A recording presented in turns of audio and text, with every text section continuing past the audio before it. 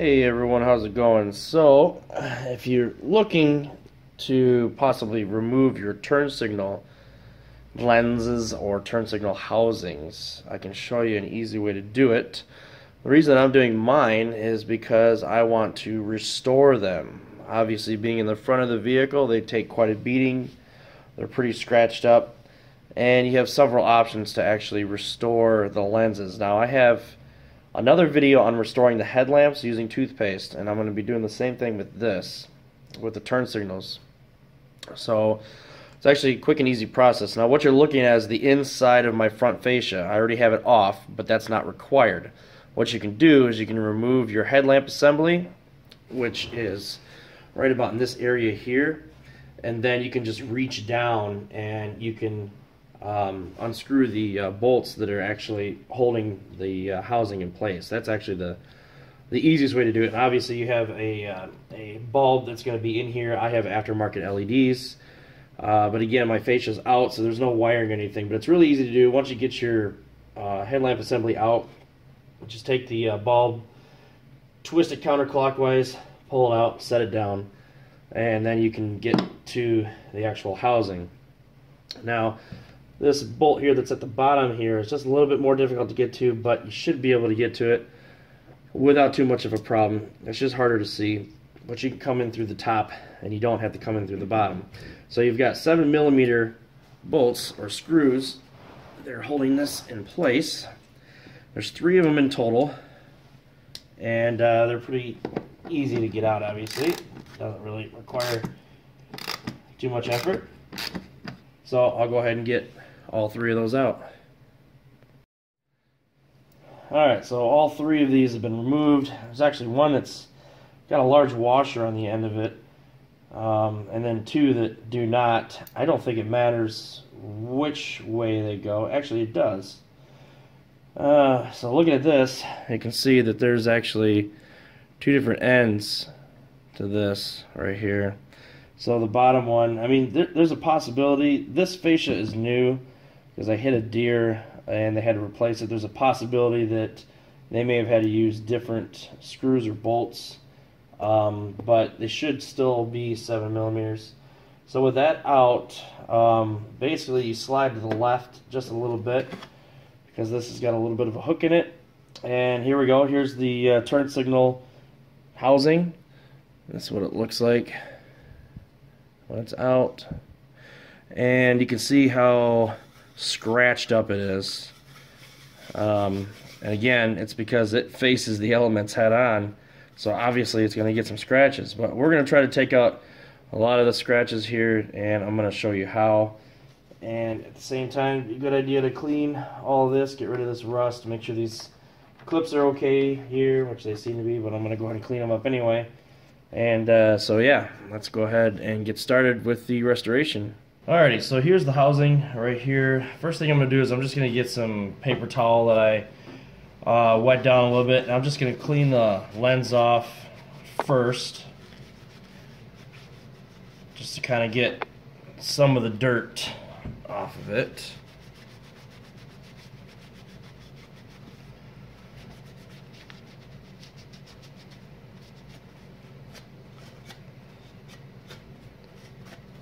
I'm honestly not too worried about any of the dirt that's on the backside. I mean, it's plastic. It's not like it's going to hurt it any. It's not like it's going to affect the performance, but I'm still going to give it a quick, kind of a quick wipe down.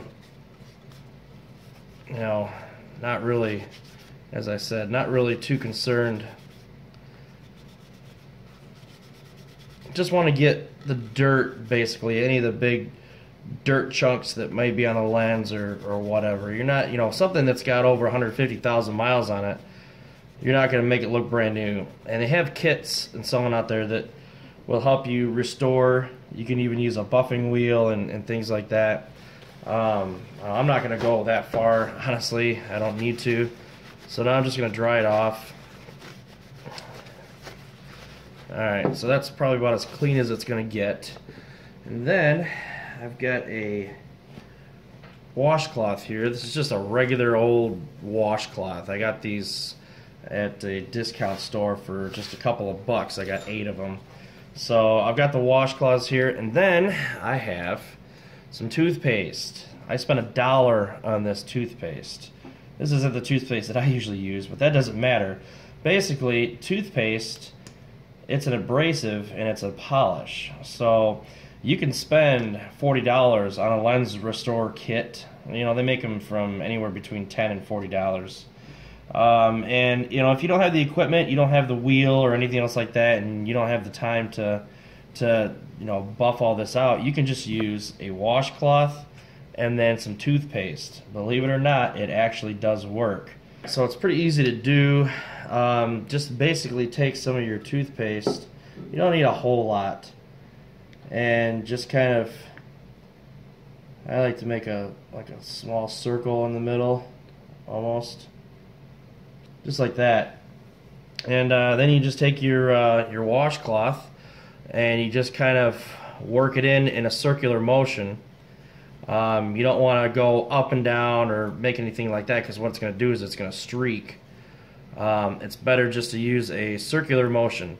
Now, at first, it's to, you know, you're going to get a lot of toothpaste. It's going to bind up, but eventually, it's going to work its way to the lens. And again, all this stuff you know we can we can wipe all this off. That's not going to be an issue. Um, so just probably a good five minutes.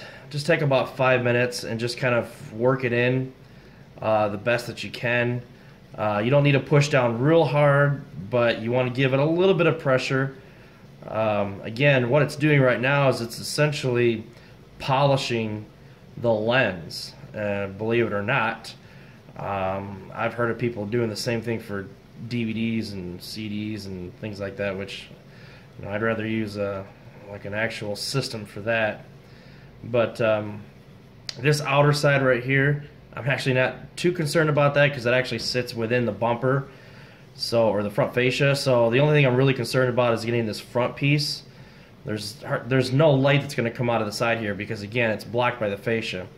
So after about a minute or so, you'll notice that it's going to start getting more difficult to actually uh, polish this. That means it's just drying out, that the, um, the toothpaste is actually working its way into the lens itself. And so anyway, I'm going to do this for another couple minutes here, and uh, then we'll move on to the next step. Okay, so I spent about three, four minutes working on this, and um, what I'm going to do is I'm going to take my paper towel here and I'm just going to kind of wipe it away. It doesn't matter if the paper towel is dry or not because I'm going to actually repeat the process one more time but I can already see the improvement here. Oh yeah. So I can already see the improvement here. I don't know how well the camera is going to pick this up but a lot of the fine scratches are gone completely. You know, there's some big ones that are still left in here. Those I'm probably not going to be able to get out because they're pretty deep. But that definitely looks a lot clearer than it did before. Again, there's some big, you can see there's some big sized scratches that are still here. And there's actually scratches on the inside as well. So, those I won't be able to get for sure. But, it actually does look a lot better than it did. So anyway, I'm going to go ahead and uh, do another coat, work on it for another couple minutes, and then uh, I'll come back to it. Okay, so the one here on the left is the one that I have not restored yet or haven't worked on at all. And you can see it's pretty cloudy and it's pretty dirty. I did clean it up.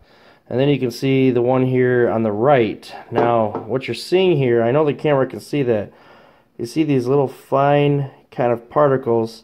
You can barely see them head on, but you can see them at an angle when the light is at just the right point. Those are deep gouges that are in the headlamp itself. You might be able to see that better now if you're looking at that washcloth up there. Those are deep gouges. Some of them are on the inside. What ended up happening with this particular lens is my LED fell out. I have a video of that. So it was rattling around in here. So it did put some scratches on there that I don't have on this side here. So this one actually might clean up a little bit better. But these scratches that are here, this feels really smooth. They're just fine gouges that over time have happened. Unfortunately, it's not something you can really do about it. There is no light restoration or headlamp lens restoration kit that can take out the really deep ones. Now, you could probably do a better job if you had a buffing wheel and you were working on this for a while. It would probably do a better job, but it's definitely a big difference. You can see how cloudy this one is compared to this one. So it's a big difference between the two. But again, it all depends on how much money and the tools you have to actually put into this. But this is probably the cheapest way to do it. It's not going to make them look brand new, but it's going to do a really good job, uh, in my opinion. And, you know, it was a couple of bucks for the washcloths and a dollar for the toothpaste. And I spent probably about 10 minutes on that one.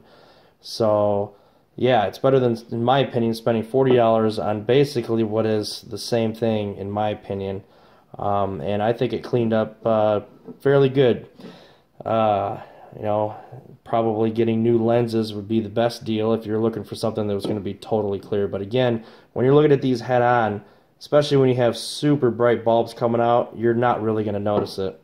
Uh, those little fine uh, gouges that are in the uh, lens. So, all right, folks, if you have any questions, definitely let me know. I'm going to go ahead and work on this one here and get that one cleaned up, and then I'll get to the installation. So, uh, if you have any questions, again, let me know. Take care.